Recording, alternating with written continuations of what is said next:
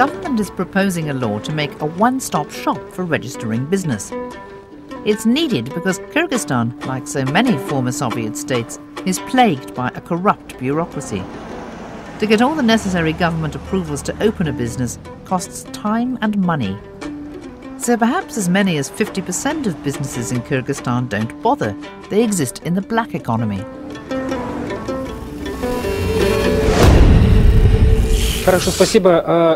Okay, thank you. Now we'll see what ordinary people on the street think. We're from Open Kyrgyzstan. Could you tell me, please? Do the current government procedures for business registration interfere with the opening of new business? I haven't come across it myself, but heard a lot about it. People say it's too hard. I think it's quite difficult. Yes, there are too many delays, too many procedures you have to legalize your business, and it doesn't help business development. The talk show airs more than the opinions of average Kyrgyz citizens. There's always an invited guest expert to challenge the government. For this episode, it's businessman Emil Umetaliev. We're going to see one of the main heroes of this program. It is Emil Umetaliev. He's the head of the Congress of Business Associations, and at the same time, he is a director of this tourism company. You have to talk about the law from the point of view of those people it's aimed at. The main purpose of this law is to make life easier for those who start their own business. At the moment, it takes one month and a huge amount of pain, hassle, and it costs too much money. All this puts people off legalizing their business. A person thinks, to hell with it. I'd rather pay the tax man if I get caught. Did we invite the tax people? Yes, we did. Maybe we should point this out then. As a result of this law, hundreds of thousands of ordinary people won't be afraid to either register or close their businesses. This means that the law should be straightforward.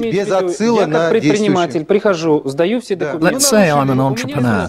I come and submit all the documents. I want to say again that the criteria of this work is the opinion, the reaction of the private sector. One should point out as well that we will have to make it simpler to shut down companies. Each programme's discussion is worked up into a set of recommendations, which is made available to the appropriate government department and the general public via the internet. You've been watching Open Kyrgyzstan, a joint venture of the Soros Foundation and the Consultative Council for Good Governance. We're always happy to hear from you. Goodbye.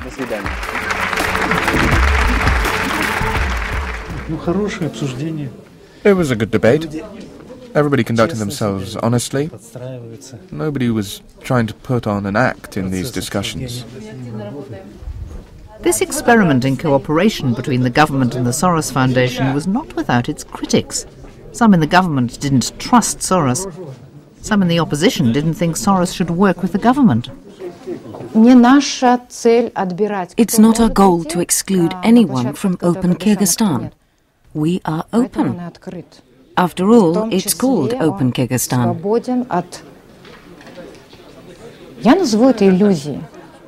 And we don't suffer from the delusion of some in the opposition that they can get by without working with the government.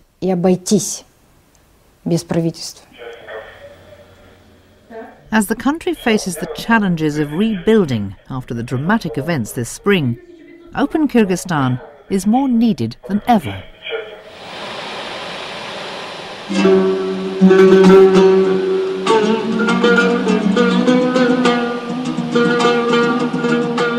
The final story is from Tajikistan, one of the most remote of the former Soviet Central Asian republics and the poorest. This is the central train station in Tajikistan's capital, Dushanbe. The Moscow train, a five day journey, leaves today. And here, lawyers funded by the Soros Foundation are trying to help some of the million or so Tajiks who make the journey to Russia every year in search of work. What's your main problem there? Getting a residency permit. And what do the police say if they catch you without a permit? Give us money.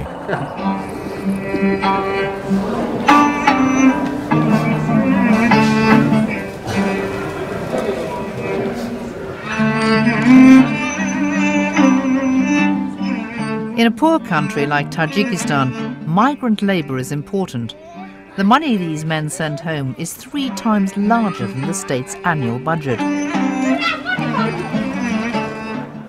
But for the migrants, life in Russia is fraught with dangers, especially because of their fragile legal position there. The Soros Foundation in Tajikistan has decided to try to help them.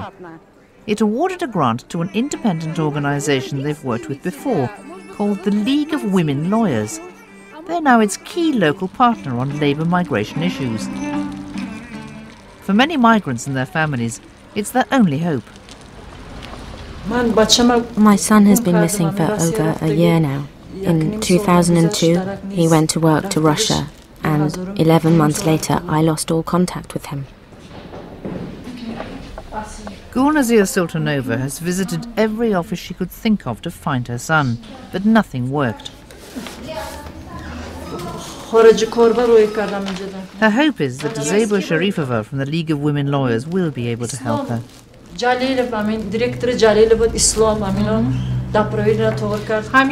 How old is he? Here, he's 22. Migrant workers in Russia tend to get low wage manual labour jobs, or they trade on the street like these Tajiks in a Moscow market.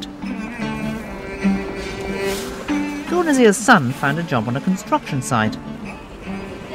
After 11 months, he wanted to come home, only to find his bosses wouldn't pay his wages. Without any papers, he had no recourse.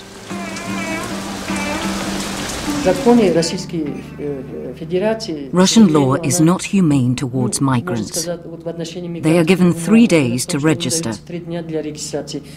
If they do not register within three days from their arrival, they are arrested and put into special detention.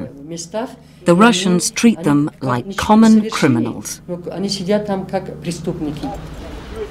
Migrants have been held in detention for up to six months before being deported. And since the vast majority of the Tajiks work in Russia illegally, they're easy prey for corrupt policemen.